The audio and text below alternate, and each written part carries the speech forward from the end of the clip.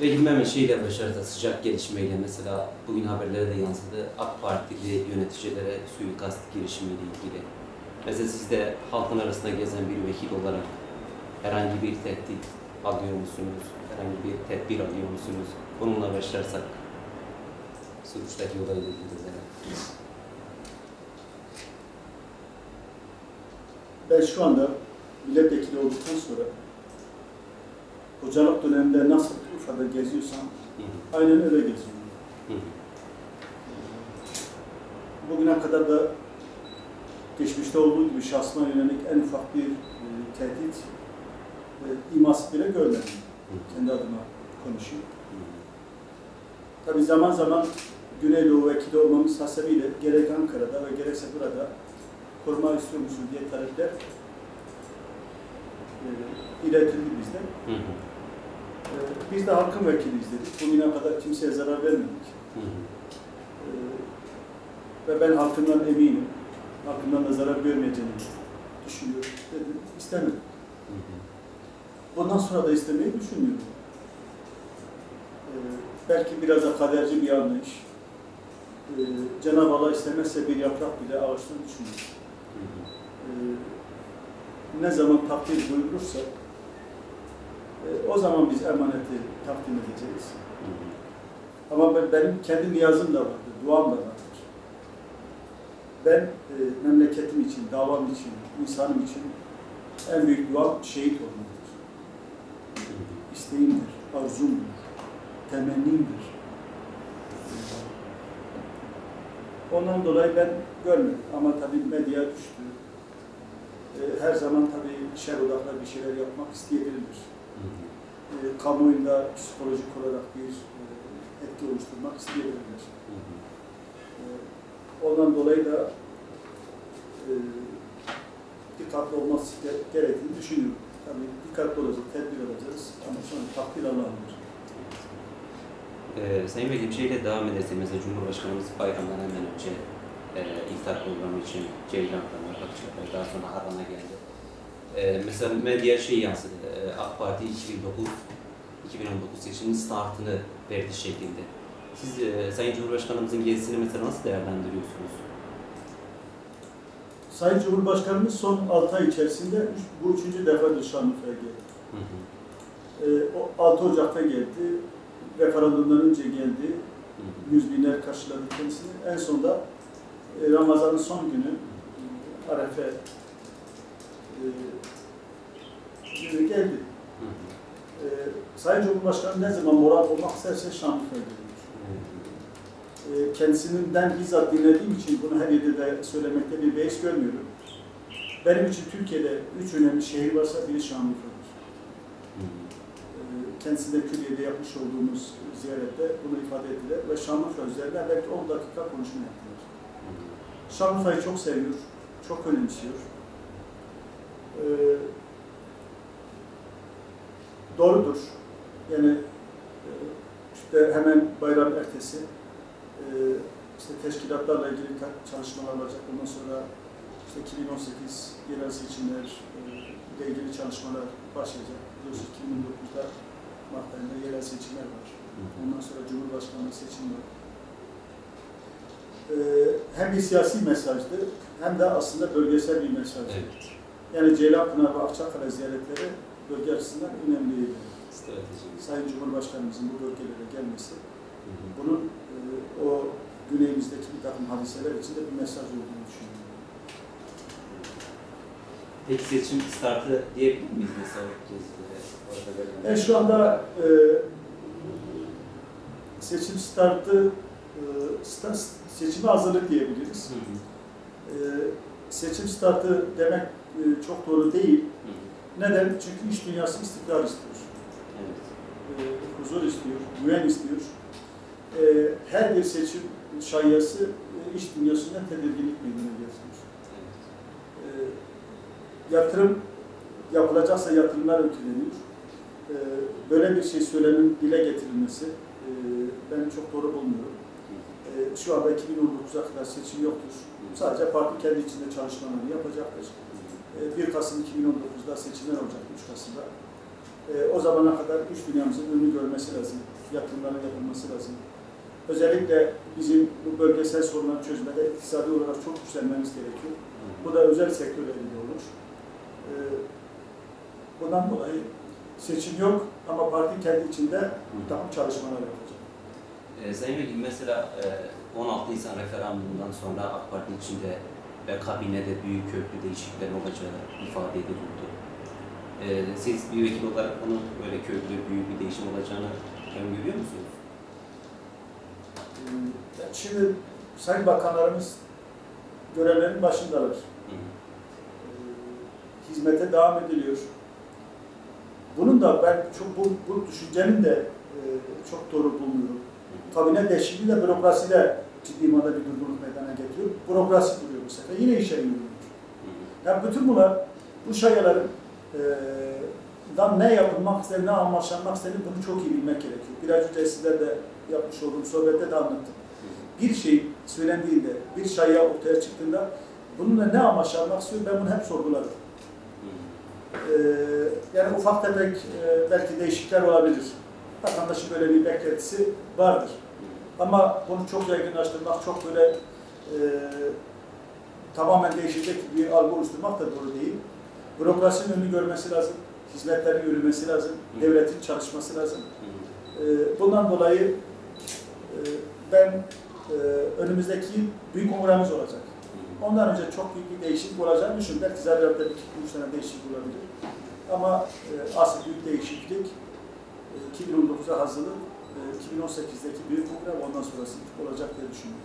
Ve Sayın Cumhurbaşkanı dile getirdiği metal yorgunluk, o nasıl aşılır? Bu teşkilatlar için Hı hı. e, söz konusu. E, tabii 2014 yerel seçimler, sonra e, 7 Haziran seçimleri, Hı hı. sonra 1 Kasım seçimleri, Hı hı. sonra tabii e, hemen hemen yılda bir büyük kongreler, Evet. ister istemez bu teşkilatlarda bir yorgunluk meydana getiriyor. Ee, Bundan dolayı Sayın Cumhurbaşkanı ifade etmiştir. Doğrudur. Ama bunu da çok böyle büyük bir değişiklik olacak diye de ben e, düşünmüyorum. E, özellikle de böyle komplike bir teşkil, tamamen böyle sil baştan teşkilatların değişmesi de doğru değildir. Çünkü her bir değişiklik kurumsal hafızayı yok ediyor. Kur- kurumsal hafızanın da devam etmesi gerekiyor. Ee, biz geçmişte teşkilatçı ve siyasi bir aileden geliyoruz. Ee, Biz muhakkak e, yeni değişikliklere e, hazırlık açısından, açısından kongrelerde takviyeler yapmışızdır. Yeni jenerasyondan arkadaşlarımızı, değerli arkadaşlarımızı onlardan istifade etmek adına almışızdır. Ama e, yönetimin tem- temel yapısını ve çatısını hep korumuşuzdur. Kurumsal hafızanın devam açısından. Dolayısıyla partilerde de bu çok önemli. Kurumsal hafızanın devam etmesi gerekiyor. Her bir ilçe başkanı, her bir yönetim, her bir il başkanı değiştiğinde dolayısıyla e, bir sima değişikliği meydana geliyor. Ama bu arkadaş partinin bundan önceki çalışmalardan haberdar olmazsa. Kırsalda kimler vardır, kimlere gidilmesi gerekiyor, efendim hangi hizmetler yapılmıştır, bunları bilmezse, e, insanları tanımazsa ve o tanıma ölçüsünde de onları onun onlara etmezse bu sefer parti kaybeder. Evet. Buna da dikkat etmek gerekiyor. Tabii ki değişiklik olması gerekiyorsa değişiklik olacaktır. Ama partinin kurumsal hafızasına devam etmesi gerektiğini düşünüyorum. Sayın Vekilim şeyle devam edersek mesela sürekli vatandaşla iç içesiniz. En çok mesela dile getirilen sorun ne oluyor Urfa'da? Yerel bazda. İşsizlik. İşsizlik. Evet. Birincisi bu. Hı hı. Ee, ikincisi tabii Suriyelilerin meselesi. Hı hı. Ee, kırsalda elektrik, Evet. kırsal altyapı ve sulama projeleri. Bunlar bizim e, en çok problem buralarda oluşuyor ve talep bu noktalardan geliyor. Ee, Şanlıurfa 1 milyon 942 bin nüfusu var. Yılda 60 bin ilave olur. Yani bizim e, aylık doğum oranlarımız 5 ile 6 bin arasında değişiyor. Hı. Ee, Şimdi e, Türkiye'nin en genç ili. Nüfus yaş ortalaması 19.2. 642 e, 614.842 öğrencimiz e, 2016 2017 yılında eğitim öğretime devam ediyor. Mezunlarımız olmuştur liseye gönderdiklerimiz ama yine 60 bin, asgari 60 bin yeni ilave olacaktır. Tabii e, 500 bin civarında Suriyeli kardeşimiz var ve en az bunlardan da 150 bin kişinin eğitim alması gerekiyor. E, Şu anda 60 bin, 62 bin civarında öğrencimiz eğitim alıyor. Ama en az 100 bin daha ço- çocuğumuzun eğitim alması gerekiyor. E, Bu genç nüfus e, ciddi manada tabii istihdam yaratılmasını zorunlu kılıyor. E, Bölgemizde de e, özellikle güneyimizde yaşanan sorunlar, e, o s- Suriye'deki savaş bizim işsizlik noktasındaki problemlerimizi daha da arttırdı. Çünkü gelen kardeşlerimiz de hayatlarını idame ettirebilmek adına çalışmak istiyorlar.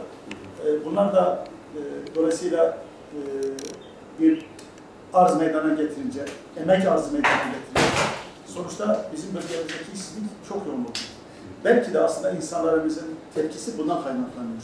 Yoksa insan biz almışız, ensar bir iliz, misafir etmişiz, misafir etmeye devam ediyoruz. Bu daha fazla gelirse yine misafir ederiz. Ama sonuçta e, insanlarımızın da e, onurlu yaşamaları için, ayakta durabilmeleri için de çalışmak zorundalar. E, onlar da e, istihdam edilmek istiyorlar. Bu noktada bizim en büyük sorunumuz işsizlik. E, işsizliğin çözümü için de artık kamu eliyle e, eski gibi yatırımlar yapılmıyor. Nedir? Anda kamunun görevi adaleti sağlamak, eğitimi sağlamak, güvenliği sağlamak ve yine özel sektörün yatırım yapabilmesi için altyapı oluşturabilmek. Şu andaki devletin asli görevi bu. Peki kalkınma, sanayileşme, e, büyüme ne ile olacak? Özel sektör ile olacaktır.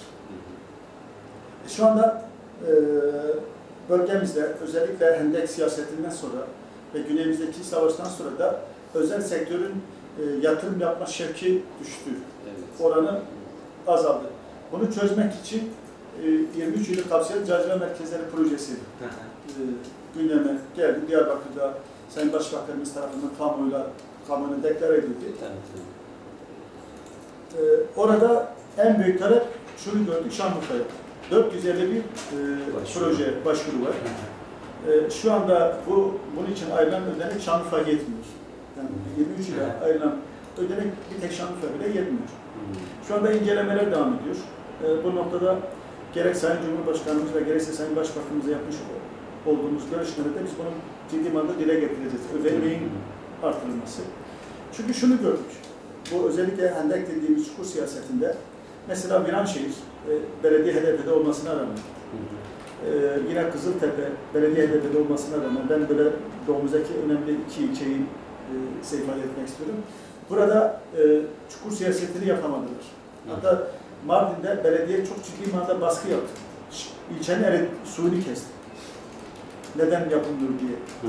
Yine Viranşehir'de e, duyumlarımıza göre belediye başkanı çok ciddi manada baskı yaptılar. Ama halk yanaşmadı. Niçin? Halk özellikle sulama projelerinden dolayı ciddi manada Bu varlıklarını kaybetmek istemiyor. Ve e, dolayısıyla bu çukur siyasetine alet olan ilçelerde baktığımızda ilçenin tamamı yok olduğunu görüyoruz. Her şeyden yok. E, bölgedeki sorunu çözmenin yolu özellikle istihdam oluşturmaktır ve halkımızı e, vasıflaştırmaktır. Ben bölge açısından da en önemli husus şunu görüyorum.